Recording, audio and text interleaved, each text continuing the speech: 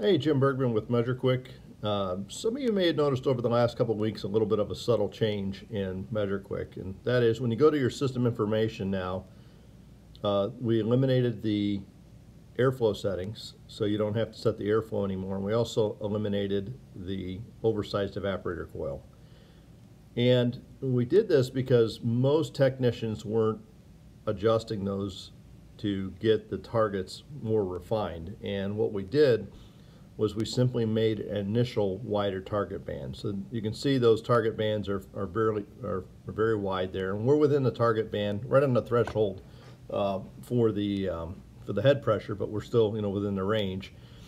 And uh, obviously the suction pressure target's a, a fairly wide target there. Now, what that is, what those targets are so wide for is it's showing you you know, you could be anywhere from 350 CFM per ton to 450 CFM per ton. You could have a standard sized evaporator, an oversized evaporator, and it'll fall within that target range. And in the case of the condensing unit here, uh, this condenser is actually, a, it's a Goodman system, and they really don't make a condenser coil anymore that is ton and a half. You know, used to have like dedicated ton and a half, two ton, two and a half, three tons.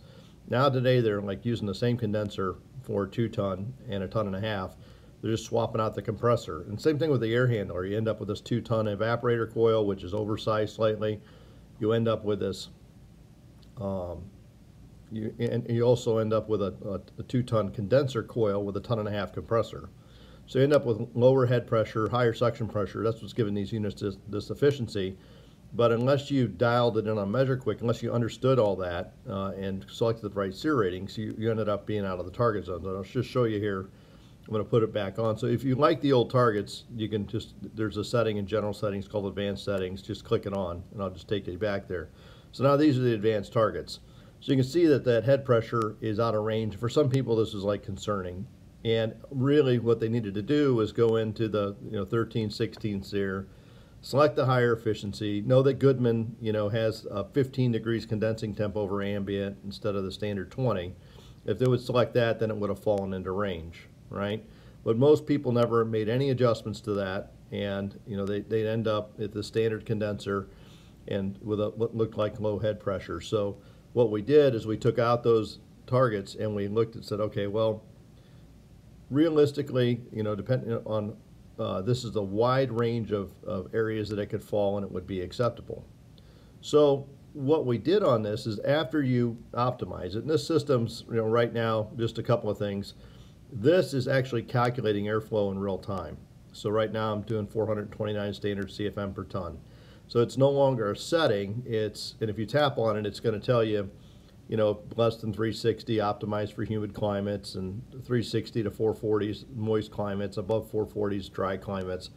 Uh, it's telling you, you know, what you have it optimized for. And in fact, if you click on the flag, it'll tell you this is a 13 to 17 SEER system with airflow optimized for a moist climate. And moist climates are what we call green grass states, right? Anywhere the grass is green, dry climates, brown grass climates, wet climates, tropical climates, you know, where you're going to see palm trees and uh, swamps. So uh, in this case here, you know, we're a moist climate in Ohio. So this system's all optimized.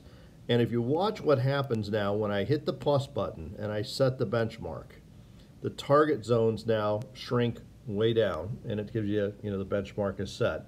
The target zones shrink way down, and you'll also notice that this target is not exactly centered, um, and I, I, had touched the target zone there, it's not exactly centered, and that's because we're taking into account the effect of the latent load on here. So in this case, if we go inside, you'll see that return air is about 56%, which is a little bit higher uh, dew point temperature than, than normal.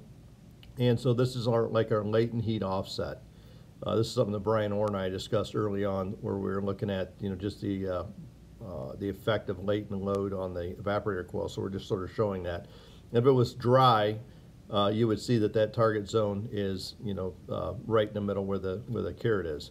So it just makes it much, much easier to profile that system now because we don't have to know if we have an oversized evaporator or if we have a high efficiency condenser, we can just you know select the uh, get get you know close to those things, and then when we benchmark the system, it's going to really lock in the equipment type and the installation parameters, and just makes it overall easier.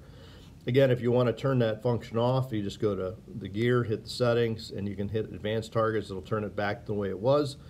But we found uh, really over the last couple of weeks that this has been a huge help for people getting into Measure Quick, and it's a setting I would recommend. That, that's why we made it the default setting. So this is Jim with Measure Quick. Uh, again, if you got any questions or comments, please leave them in the video. And if you would, please subscribe to our video channel. Uh, that's a huge help to us. We'd like to be able to reach out and tell you guys what we're doing and, uh, you know, all the constant improvements to Measure Quick.